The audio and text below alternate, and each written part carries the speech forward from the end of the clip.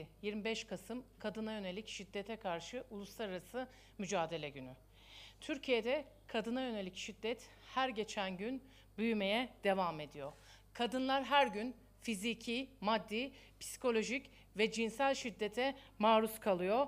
Yüzlerce kadın bu süre gelen ve sistematik şiddet sonucu hayatını kaybediyor.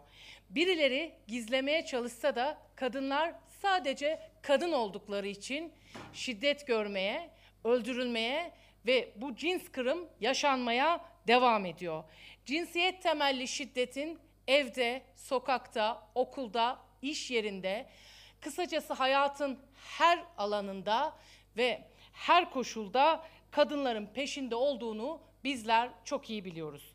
25 Kasım bizler için bir kez daha yaşam haklarımızı savunmanın, boyun eğmeyeceğimizi aykırmanın, şiddete karşı baş kaldırmanın günü olacaktır. Dün Plan ve Bütçe Komisyonu'nda Aile ve Sosyal Hizmetler Bakanlığı bütçesi görüşüldü. Bakanlık bütçesinde 8 ayrı program başlığı var. Bunlardan her birinin toplam bütçe içerisindeki payı düşmüş durumda. Ama en çok dikkat çeken kadının güçlendirilmesi programının bütçe içerisindeki payı. Yüzde 0,03. Evet yanlış duymadınız. Kadının güçlendirilmesi programının bütçe içerisindeki payı 0,03'e düşmüş durumda. Buradan şunu anlıyoruz. Aile Bakanı kadının güçlendirilmesi programına ayrılan bütçeyle kadına vermiş olduğu değeri ve kadının güçlendirilmesiyle ilgili ne düşündüğünü somut bir şekilde açıkça ifade etmiş oluyor. AKP için kadın ailenin dışında bir anlam ifade etmiyor. Biz elbette aile kurumunun kıymetini, toplumdaki önemini, gelecek nesiller için değerini çok iyi biliyoruz. Aile bizim de kutsalımız. Ama biz kadının sadece aile içerisinde tanımlanmasına karşı çıkıyoruz. Bu anlayışın dışa vurumu Cumhurbaşkanlığı yıllık programında da görülebiliyor. Kadın başlığının altında şöyle yazıyor.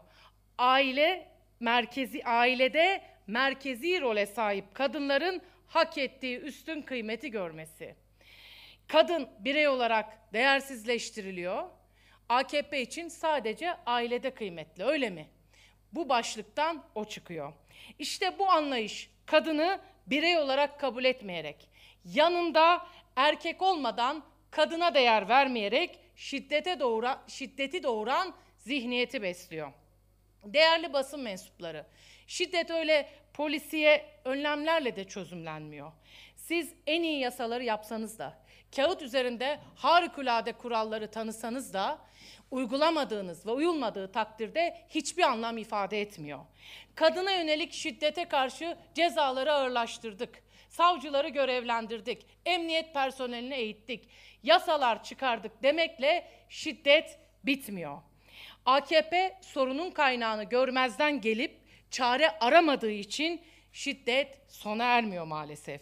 Aslında sorunun kendisini de AKP besliyor. İşte bu nedenle bu anlayışın kadına yönelik şiddetle mücadele etme ya da bitirmesinin mümkün olmadığını görüyoruz. AKP kadına yönelik şiddeti bitirmek değil, aile içerisinde görünmez kılmak, kadını her türlü şiddet görse de boşanmayıp sessizleştirmek istiyor.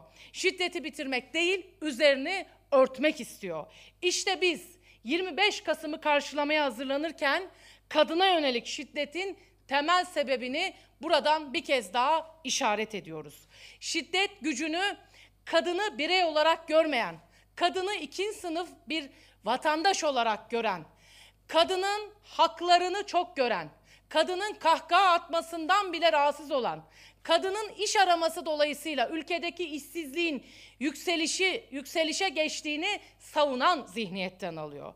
Biz şiddete son vermek için işte tam da bu zihniyetle mücadele ediyoruz. Kadınlar olarak tüm haklarımız için verdiğimiz mücadele şiddete karşı mücadeledir. Varlığımız için mücadeledir. Eğer bir tek geri adım atarsak Afganistan olana dek sürükleneceğimizi hepimiz gayet iyi biliyoruz. Bu yüzden kadınlar olarak bir kız kardeşimiz daha eksilmesin diye, Mustafa Kemal Atatürk'ün Cumhuriyetle bize tanıdığı haklarımızı koruyalım diye. Kadın erkek fırsat eşitliği tam olarak sağlanıncaya dek ve yeni, ve yeni haklar elde edelim diye bu mücadelemiz sürecek. Biz buradayız, bir aradayız, omuz omuzayız.